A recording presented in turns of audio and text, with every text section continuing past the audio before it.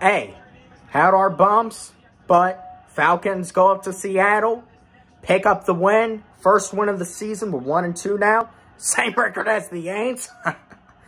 but, hey, Falcons offense looked really good today. I got to say. You finally get Kyle Pitts involved. Not as much as I would have liked to see. I still feel like you could have gotten him involved more in the second half. But Falcons win. Cordarrelle Patterson is that fucking dude. He is no doubt the best player on this offense. Carried the team today big time. He came in clutch. Drake London came in clutch with that touchdown. And the Falcons are able to pick up the win. It wasn't pretty. The defense, I still think, has a lot of stuff to work on. Especially the pass and run defense, really. The defense didn't really look all that good today. But even they got better in the second half, only allowing three points in the second half. And Richie Grant, first NFL interception, the game-winning interception to seal the deal. Falcons win in Seattle. And hopefully, you know, this is where we take back control of our season. Mariota looked good today, and I think he's brought himself at least maybe two more games to where, you know, his job is safe. However, you know, you still have, he still has stuff to work on. Obviously, that interception at the end of the first half didn't really mean much, but still, you know, that could have been disaster if Hesse wasn't there to tackle that guy. Uh, I believe he fumbled the ball. Well, actually, was trying to hand it off to Allgeier and, you know, it was just bad communication. But, hey, Mariota looked good at the end of the day. Getting it to Kyle Pitts in the first half. Getting it to Drake London when he needed to.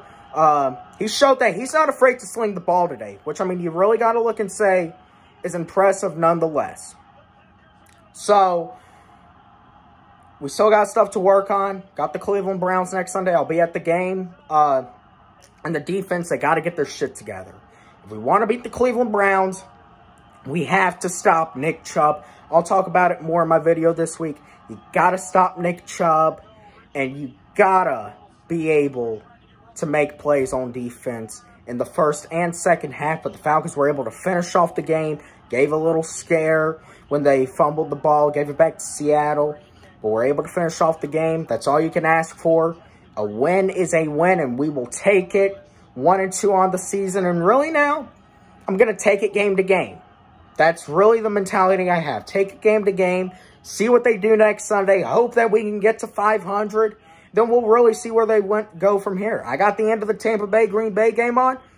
Tampa Bay just lost to the Green Bay Packers. So we're only one game back in the division from Tampa Bay. But to be fair, the Saints and Panthers also are as well. But it's now game to game with the Falcons. Nice to see them get this win in Seattle. Offense looked good. Defense has to improve, but came clutch at the end. And hey, you know, if the Falcons can do this every game on offense and they get better on defense, you know, we might we might be able to get seven or eight wins. So, but hey, we'll see what happens the rest of the season. Nice to get win number one here in Seattle, and I'm out.